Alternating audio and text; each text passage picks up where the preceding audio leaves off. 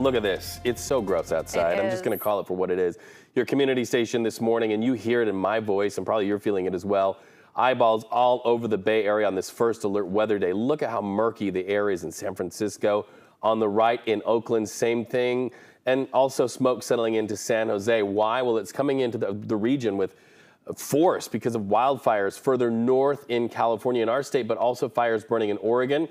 But we've consulted real time fire maps, and this is what you need to know right now. What you are breathing this morning comes from several fires burning in the Northern California and Southern Oregon region. Experts say they include the Anvil Fire in Oregon and the SRF Lightning Complex and Smith River Complex fires in Northern California. So what is in the air? If it's soup in the soupy in the air, how are you taking it into your body? What's the impact? And you know, there is some correlation to be had between smoking cigarettes and what you're breathing today, Jess. Exactly. And I want to highlight that for everyone who thinks they could just kind of power through and get through today, despite the fact that no matter where we live in the Bay Area, we're all pretty much hand in hand in that unhealthy category for sensitive groups and even very unhealthy conditions off closer to those Berkeley Hills.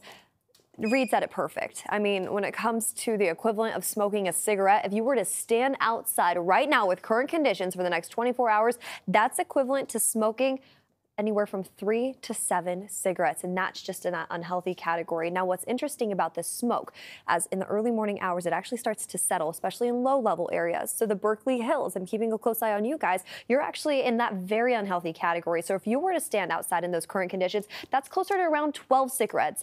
Put that into perspective as you're planning your day ahead. That's the exact reason why we do this job to let you know what to expect heading out the door. And usually here in the Bay Area, the air quality is great, but what's happening right now with all that smoke swirling its way in from offshore throughout the next couple days, we're going to continue to see this poor air quality kind of just float around. Here's the good news. As we head into the afternoon hours, the winds get a little bit gustier, and that's going to help disperse some of that smoke. So suddenly now we're seeing unhealthy categories for sensitive groups up in the North Bay with moderate conditions to the South Bay.